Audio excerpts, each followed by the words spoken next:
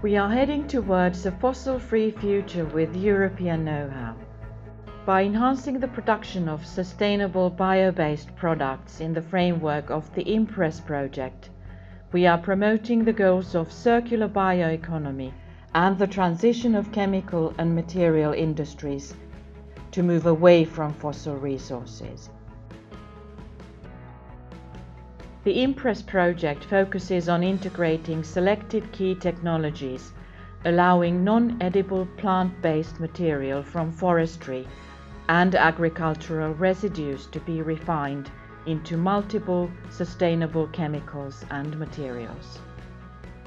Through partner collaboration, the related technologies will be substantially improved in order to produce purer and more cost-effective products, and also to provide a better future for us today and the generations to come.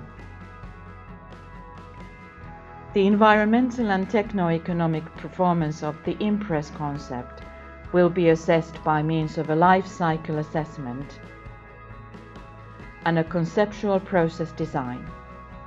These will be used to demonstrate the positive impact on circular economy. The generated know-how will also be distributed to future experts and employees through a lifelong learning e-platform. The biorefinery concept is based on the efficient integration of proven purification and separation technologies such as crystallization, membrane filtration, simulated moving bed chromatography, and absorption. These are used to optimize the quality of all product streams. Key conversion processes included in the concept are Dawn technology, Ray technology, and the xylitol fermentation technology.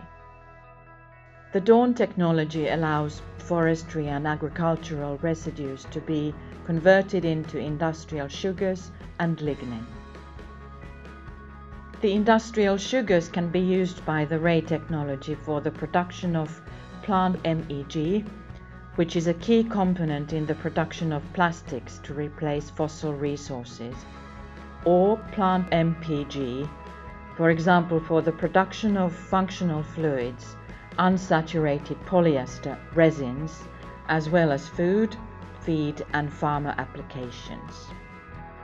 The lignin stream can be refined into sustainable plant-based building blocks such as lignin nanospheres, which can be used for composites, and activated carbon, which can be used for purification purposes. IMPRESS is a four-year project led by Avantium and it involves an outstanding consortium of 10 leading European companies, as well as research, development and educational organizations.